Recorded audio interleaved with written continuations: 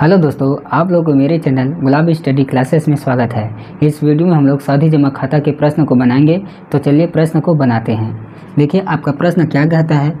श्री राम ने बीस हज़ार रुपया दो वर्ष के लिए सावधि जमा खाता में जमा करा है। ठीक है, यदि ब्याज की दर छः प्रतिशत वार्षिक हो तथा ब्याज छः माही से अर्जित होता है तो नियत तिथि पश्चात मिलने वाली धनराशि कितनी होगी? तो चलिए इस प्रश्न को बनाते हैं। देखिए, यहाँ पर क्या दिया है? दिया है, ये बीस हज़ार रुपया मूलधन होगा। तो मूलधन कितना है? बीस हज़ार रुपया। ठीक है? अब यहाँ पर इसी बीस हज़ार रुपया को कितने वर्ष के लिए जमा कर रहा है? दो वर्ष के लिए। अर्थात आपका समय कितना दिया है? समय है दो वर्ष।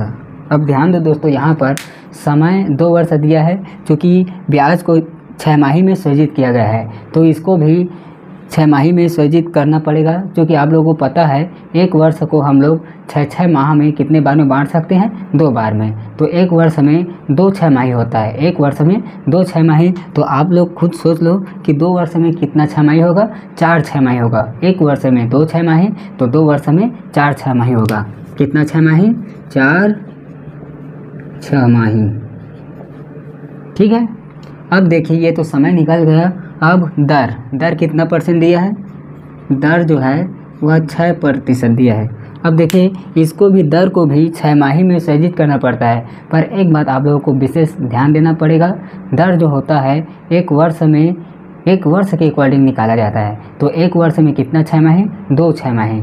भले यहाँ पर दो वर्ष में जमा किया गया है धनराशि को, ठीक है, परंतु दर को हमेशा एक वर्ष के निकालना, चाहे तो तिमाही के लिए हो या फिर छः माही के लिए हो। परंतु इस क्वेश्चन में छः माही को पूछा गया है तो एक वर्ष में दो छः माही होता है तो इसको हम लोग दो से डिवाइड करेंगे तो ये कितना परसेंट आ जाएगा? तीन परसेंट ठीक है? तो मूलधन आपका बीस हज़ार रुपया है, समय है दो वर्ष दो वर्ष मतलब चार छः माही हो गया, और दर छः प्रतिशत दिया गया था, इसको छः माही में सृजित करना है तो यहाँ से दो का डिवाइड किए तो कितना गया?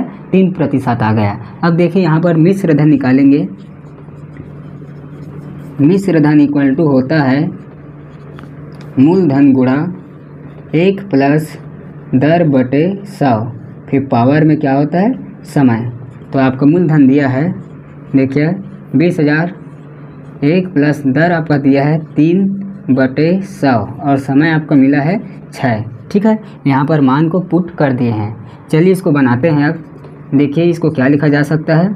बीस हज़ार गुड़ा यहाँ पर सौ लघुत्तम लेंगे तो सौ एकम सौ सौ में तुम जुड़ेगा तो एक सौ तीन आ जाएगा, बटे में सौ फिर इसका पावर चार। इसका अर्थ यह है कि इसका कितनी बार गुड़ा चार बार गुड़ा तो चलिए इसको लिख लेते हैं।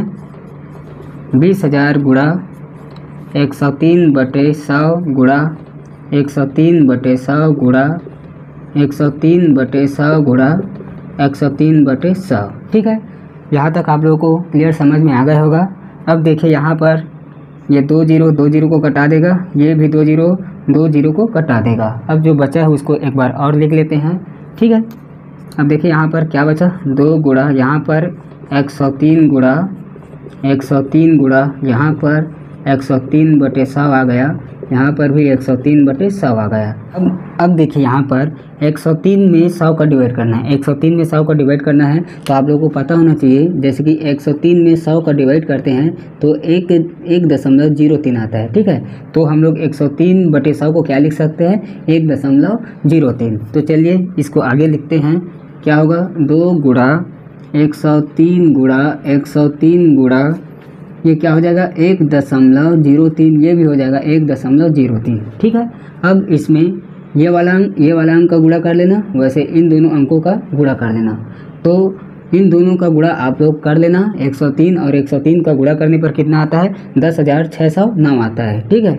103 और 103 का गुड़ा करने पर दस हज़ार दस हज़ार छः सौ नौ आता है। ठीक है? अब देखिए यहाँ पर ये भी यदि दशमलव नहीं रहता तो ये भी 103 होता, ये भी 103 होता, दशमलव को बाद में लगा देंगे तो इसका भी गुणा करने पर आ जाएगा दस हज़ार छः सौ नौ। अब दशमलव को लगा लो, एक दो तीन चार चार अंक के बाद दशमलव है तो यहाँ पर भी लगा लेते हैं, एक दो तीन और ये चार, अर्थात ये हो जाएगा एक दशमलव ज़ीरो छः ज़ीरो नौ। ठीक है, अब इसमें दो का मल्टीप्लाई कीजिए, ये हो गया दो ने अट्ठारह, एक हासिल जाएगा, दो शून्य, एक ही आ जाएगा दो छक्के बारह हासिल लग जाएगा, दो शून्य शून्य के आएगा और दो एकम, दो। ठीक है, अर्थात ये हो जाएगा इक्कीस हज़ार दो सौ अट्ठारह इक्कीस हज़ार दो सौ अट्ठारह गया, फिर गुणा ये आ जाएगा एक दशमलव ज़ीरो छः ज़ीरो नौ। अब इसका मल्टीप्लाई आप लोग करके देखना दोस्तों, इसका जो आंसर आएगा, वो कितना आएगा? लगभग बाईस पाँच एक ज़ीरो, बाईस पाँच एक ज़ीरो, एक सात छः दो। मतलब ये कितने अंक के बाद दशमलव लगेगा? एक, दो, तीन, चार। एक, दो, तीन, चार। इतना आएगा। आप लोग गुणा करके अवश्य देखना। ये आ जाएगा बाईस हज़ार पाँच सौ दस दशमलव एक सात छः दो आ जाएगा। ठीक है? या फिर इसको लिखा जा सकता है बाईस हज़ार पाँच सौ दस दशमलव एक सात। दो अंक तक लिखना। है ठीक है? तो इस प्रश्न का उत्तर क्या होगा? बाईस हज़ार पाँच सौ दस दशमलव एक सात होगा। ठीक है?